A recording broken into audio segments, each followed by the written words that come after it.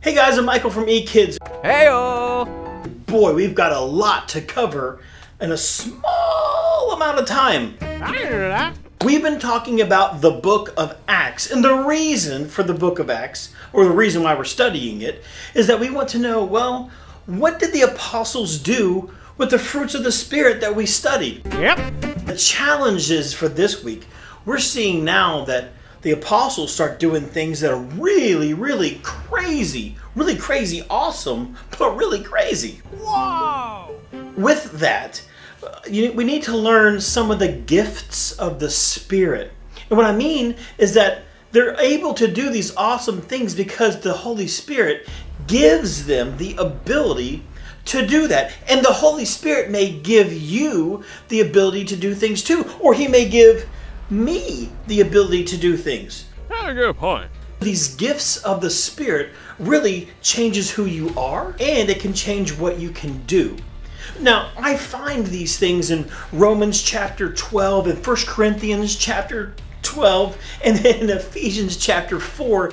And I've taken a list of these things and kind of combined them to show you um, 12 gifts of the Spirit. Now, Hey, so let's talk about who you can be, who you are. God may give you these gifts. Maybe He might make you an apostle. An apostle is someone um, who has wisdom and, and, and can help guide people, can kind of help with some leadership. And then you have a prophet. Prophets are very interesting. Um, preachers are often prophets, that God speaks to them and they can relay the message that God speaks. So that's a, a prophet. Then you have an evangelist. An evangelist is really someone that's really good at telling people about Jesus. You might be an evangelist.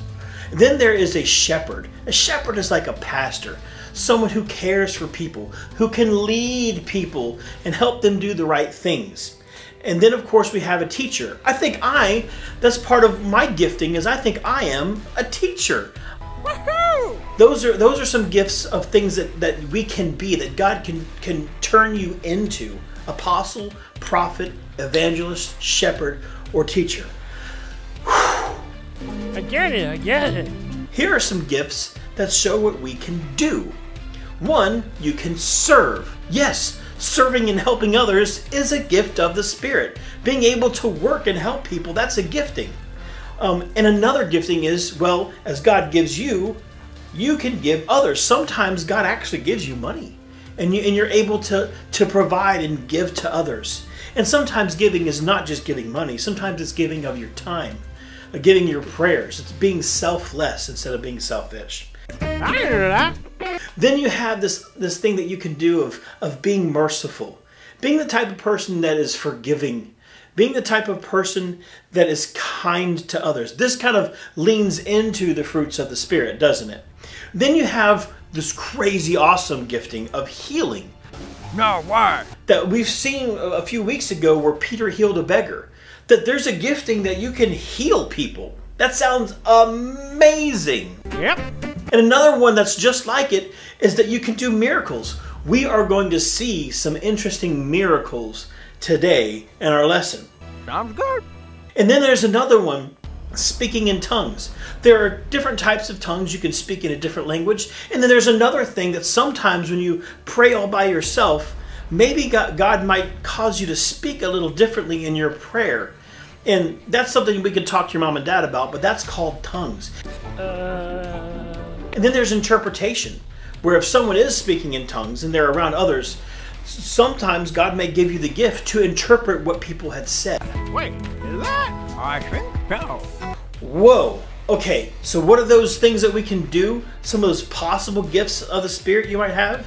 Well, service, giving, being merciful, healing, doing miracles, speaking in tongues, and interpreting. Wait, wait, wait. Hold on. These are some of the gifts of the Spirit. Got it. Now, God will probably, through the Holy Spirit, give you some of these gifts, or at least one of these gifts. Um, yeah, but. That doesn't mean He's going to give you all of these gifts. So that's the thing, is seeing what God has gifted you. Now, having said all of that, everybody take a deep breath.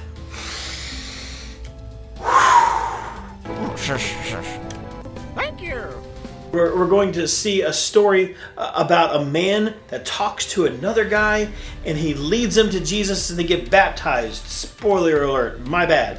And then we're going to see a crazy story about a woman named Tabitha. Now, in the cartoon, you're not going to see the full story. I'll have to explain some of it after the second video. But let's get on it. Let's figure it out. Let's watch these videos. Are you guys ready? All right, I'm ready. Let's do this. Stories of the Bible Philip and the Ethiopian. This is Philip, Hello. who was one of Jesus' disciples. Yep. Philip preached the good news of Jesus in many places. One day, an angel of the Lord spoke to him and said, Go south down the desert road. I knew that. So Philip started out and he met the treasurer of Ethiopia. The man had gone to Jerusalem to worship, and he was now returning to Ethiopia.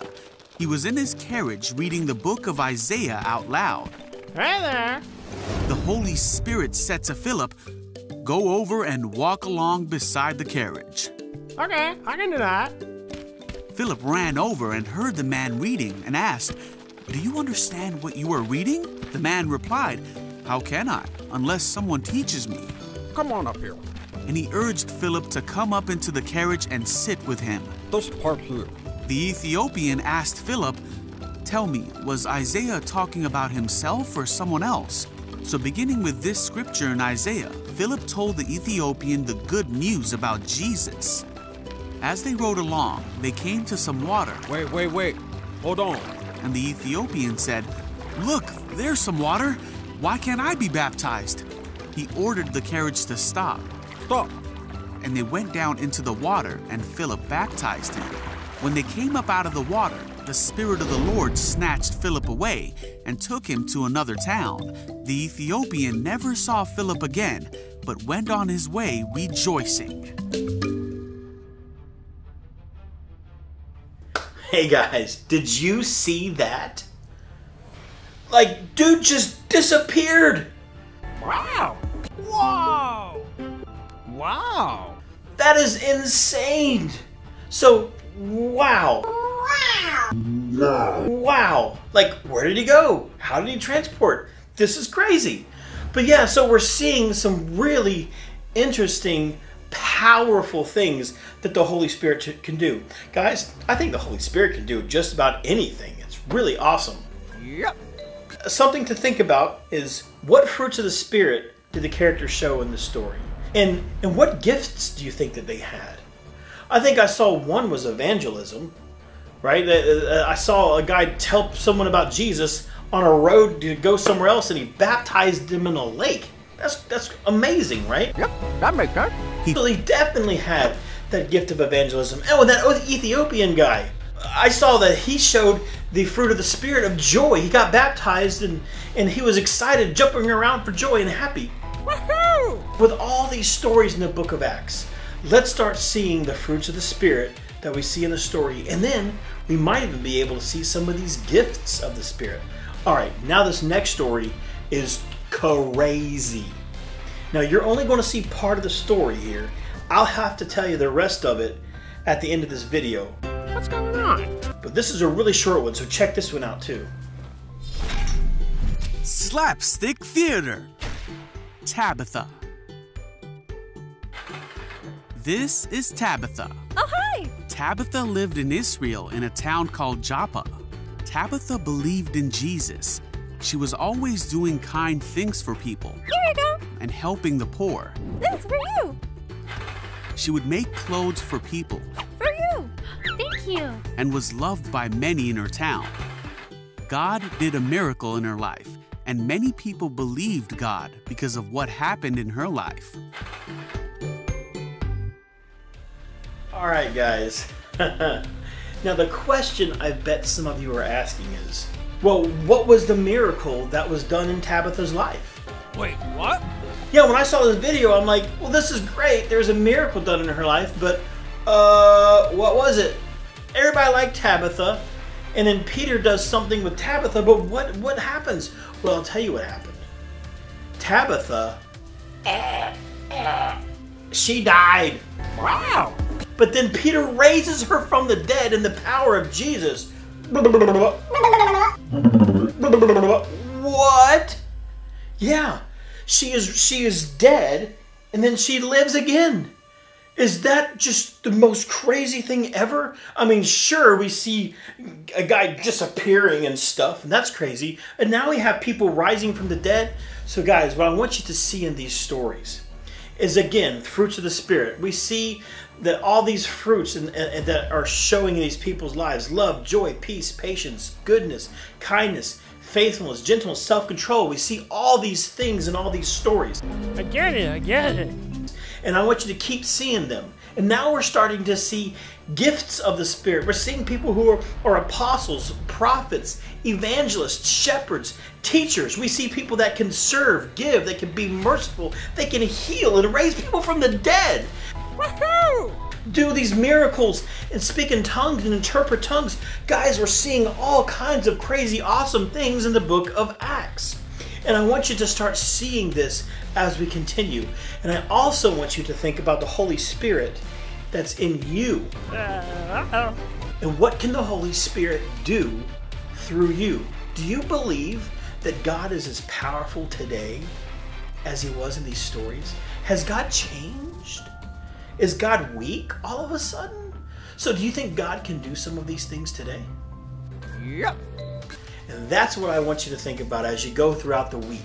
As you continue to read the book of Acts on your own, start seeing that God can do these things through you. You can be merciful. You you can you can serve, you can give. Maybe God might give you the, the gift to heal people. Maybe God might turn you into an evangelist or a teacher or a prophet. I don't know. The future is wide open. So begin praying about about who you are and what God is calling you to be. What gifts has God given you, and how can you show the fruits of the Spirit with these gifts that God gives you? Guys, I, as you, if you can't tell, I'm excited. I want to see what God will do through you. I love you, and I hope you have a, gr- a great week. And I'll see you next time. Now, bye. See ya!